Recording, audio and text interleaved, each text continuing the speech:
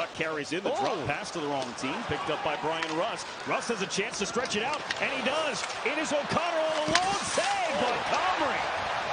Oh.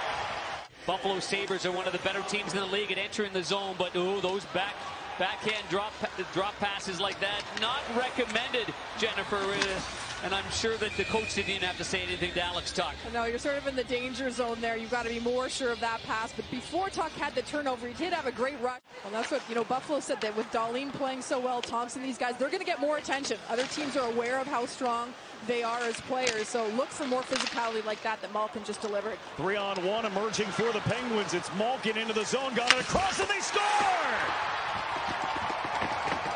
The salute from Jason Zucker after giving the Penguins a 1-0 lead. Well, you're right about that hit too, Jennifer. Not easy to time that open ice hit.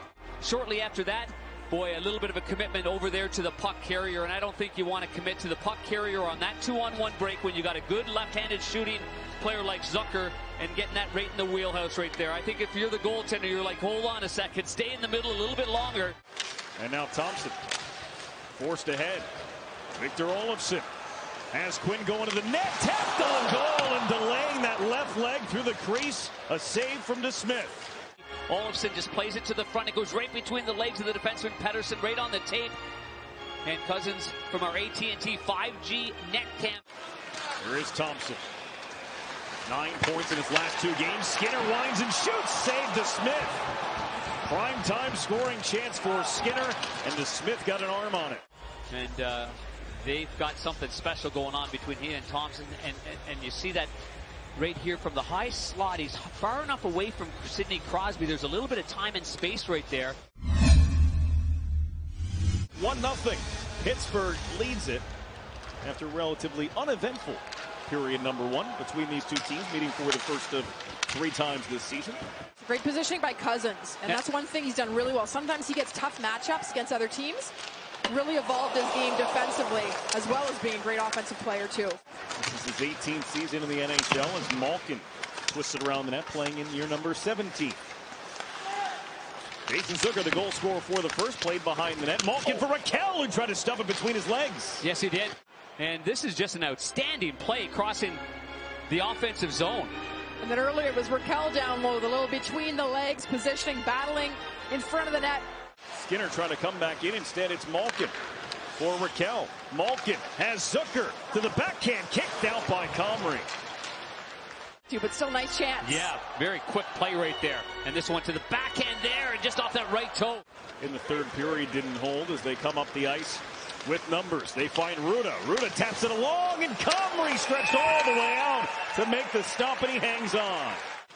No, he's always been very calm with the puck. That's why he was a first round pick and he just kept growing and growing. I mean, he's just becoming a man in front of our eyes. Here's a two-on-one developing for Pittsburgh. Poehling across, Archibald scores! It's Josh Archibald giving Pittsburgh a 2-0 lead. It breaks up the play and here goes the Penguins the other way.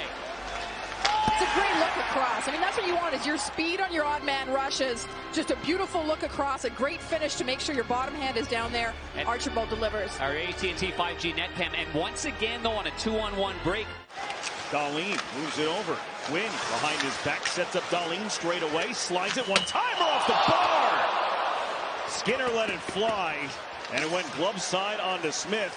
And then Quinn with a shot that goes wide of the net. Here's the post on the left side of your screen, the one-timer. DeSmith can't see that one at all, and it just rings off the bar and goes out the other side.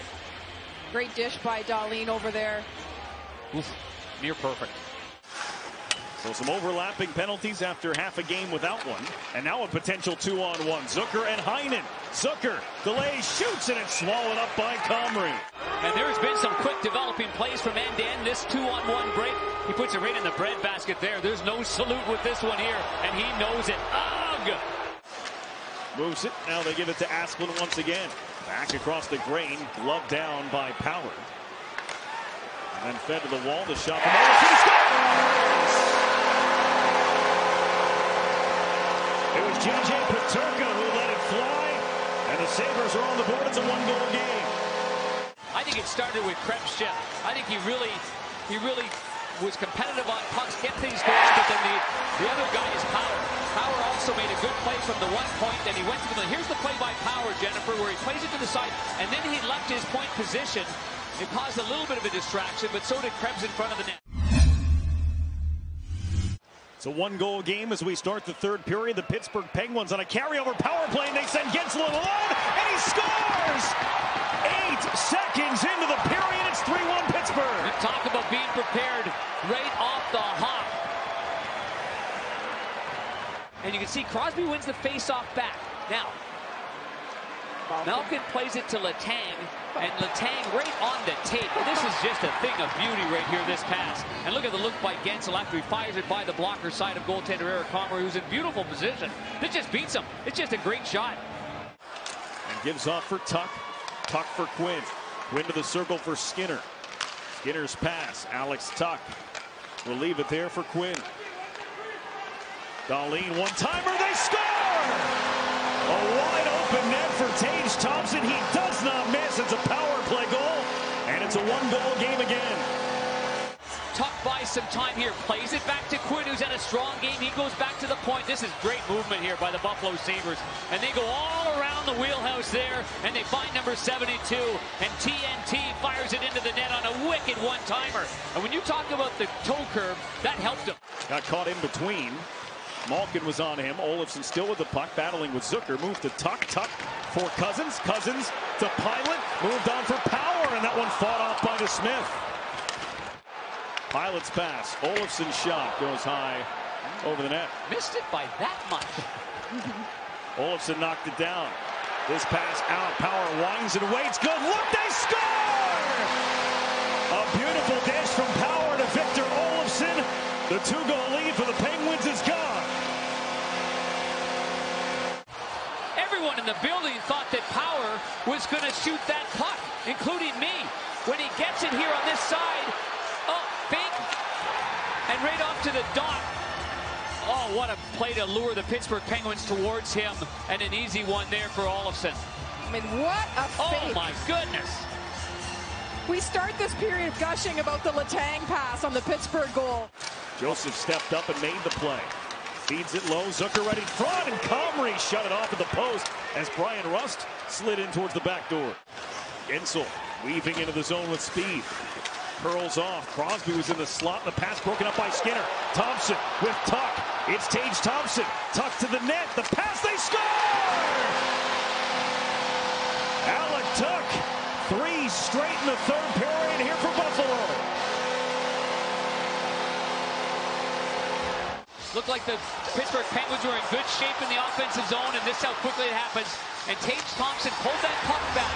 No way he was shooting that. He settled it down, got beyond the stick, put it right on the tape to the right-hander, and no sticks in the lanes to defend against this one by Russ.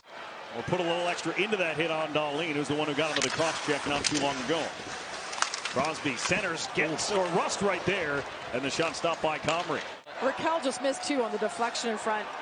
This one lobbed down the ice by Dahlin. Took a chance at it. Look at the hustle here from Girgensons to beat out the icing.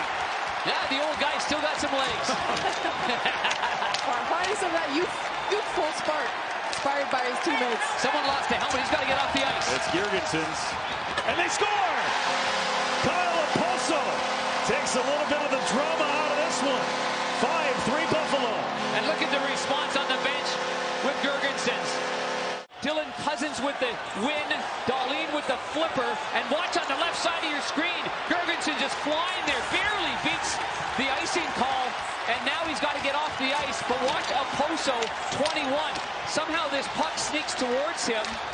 On the left side of your screen, Girgensons comes out in one quick spinorama. The Penguins don't take the net. And he just fires it. And, and, again, to reiterate, if you're new to the game, you're not allowed to get down on the face-off and, and, play anything with a, with your glove. Letang shot blocked down by Bryson. Olofsson to the empty net, added on. Five unanswered here in the third period for the Buffalo Sabres. They got some young bucks, and they're not afraid. Right in the middle of the net, too. Two seconds, and the clock runs out after a shot from Joseph. And the Buffalo Sabres come from behind to win this hockey game, but this game is not quite over yet.